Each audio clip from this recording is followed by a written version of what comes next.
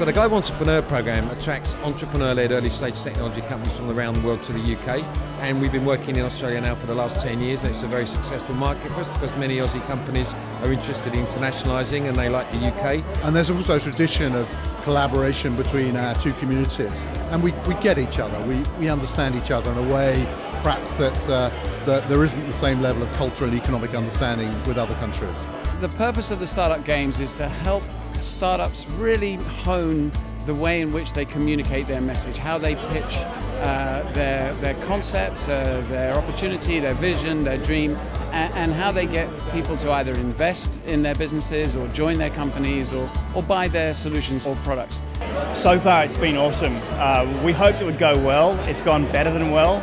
You know, the best mentor for a startup is often another startup. And we're seeing that here today where they're refining each other's pitches, improving each other's pitches. I think I've done about would have been 40 or 50 pitches today. We got a, a, lot of amazing advice from you know mentors during the day as well. So I think every time we had one of those sessions and we got some advice, uh, the pitch got better and better and better. It was a great experience for us to travel to the UK where we have a user base with cancer patients. Uh, our company is ready to scale to the UK and that's what we're looking forward to with this opportunity. At the moment we're winning, so it hasn't concluded yet, but at the moment we're winning.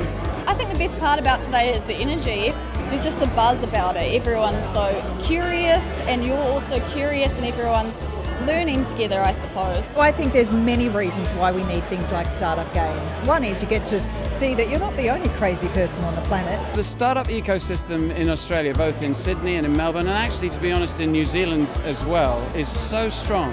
One of the things that uh, Australian companies should do if they're thinking about scaling up is talk to Department of International Trade. The Department of International Trade um, provides a free service to any Australian or New Zealand company to help them navigate the UK market and help them also launch into the European market. So the journey doesn't just start with the UK, but we take the journey globally. We can provide the networks, the contacts, the information, the government relations support that a, a company will need. The winner of the Sydney Startup Games is Nod.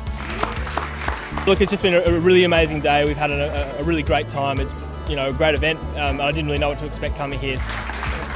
I think the best part of today was meeting some customers and having them sign up and getting some really positive feedback about what we were trying to do as well. So that was great.